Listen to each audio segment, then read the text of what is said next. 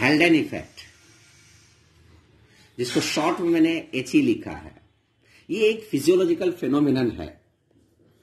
ये भी करता, यही बताता है कि ऑक्सीजन हेमोग्लोबिन से किस तेज़ी से बाइंड होता है या किस तेज़ी से डिसोसिएट होता है। इसी को बताने के लिए J S John Scott Haldane ने ये फिनोमिन दिया था, इसीलिए इसको हेल्डन इफ़ेक्ट कहते हैं।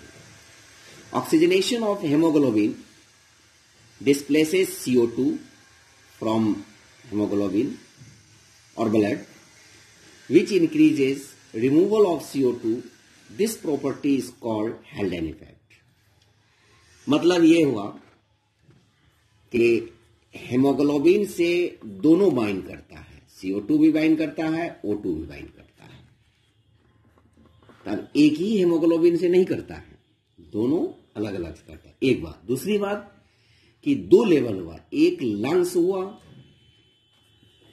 और एक टिश्यू हुआ। टिश्यू लेवल पे लंग्स लेवल पे।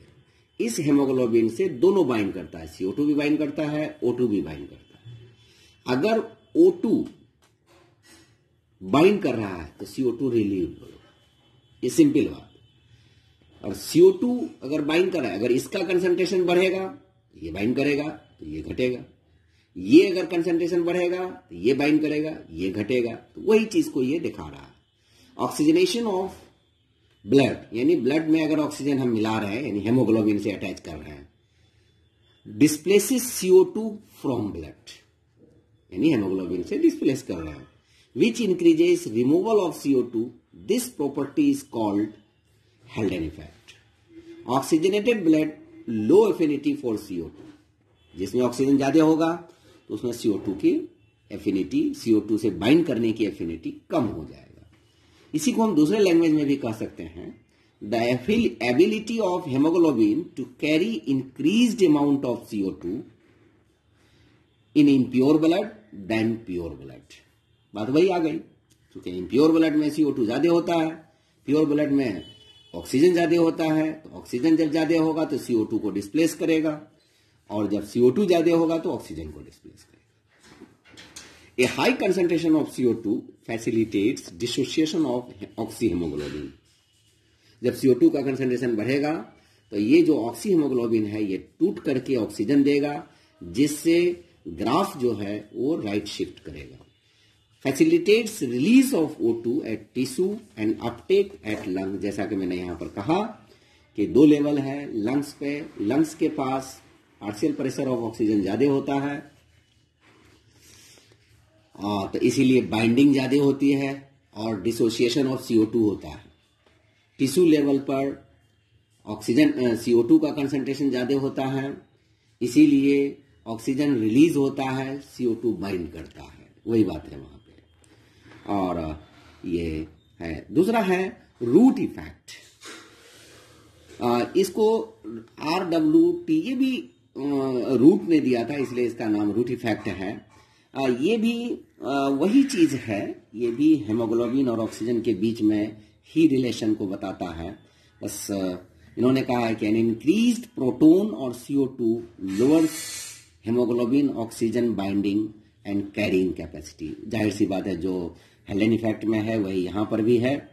और only affinity to oxygen is reduced और ये बोर इफ़ेक्ट से इसलिए डिफरेंट है, क्योंकि यहाँ पर सिर्फ़ ऑक्सीजन से रिलेटेड बातें हुए सीओ टू से रिलेटेड बातें नहीं है।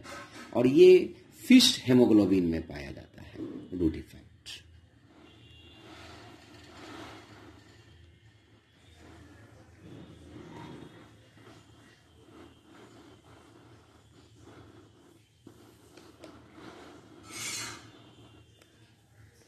बोर इफ़ेक्ट ये बहुत ही इंपॉर्टेंट है एग्जामिशन पॉइंट ऑफ़ व्यू से।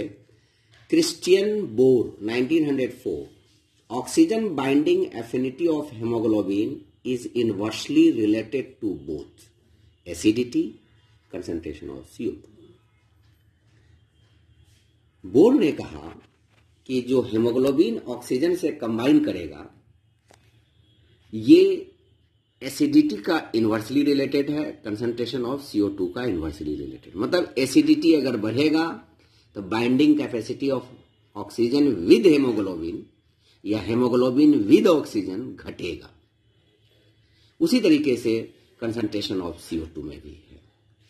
तो जिसको मैंने एक शॉर्ट में इस तरह से दिखाने की कोशिश किया है इंक्रीज सीओ टू ये पीएच को लोअर कर देगा। जब पीएच लोअर हो जाएगा ऑक्सीजन रिलीज़ होगा, यानी हेमोग्लोबिन से ऑक्सी हेमोग्लोबिन से ऑक्सीजन रिलीज़ होगा, जिसकी वजह से ओडीसी यानी ऑक्सीजन डिसोसिएशन कर्व जो है, वो राइट की तरफ़ शिफ्ट होगा। जस्ट इसका opposite CO two concentration decrease किया तो पीएच इंक्रीज किया तो हेमोग्लोबिन ज़्यादा से ज़्यादा ऑक्सीजन से बाइंड करेगा तो जब बाइंड करेगा तो ओडीसी लेफ़्ट की तरफ़ शिफ्ट होगा। ये सब छोटा छोटा है, लेकिन बहुत ही इम्पोर्टेंट है एग्जामेशन पॉइंट ऑफ़ व्यू से।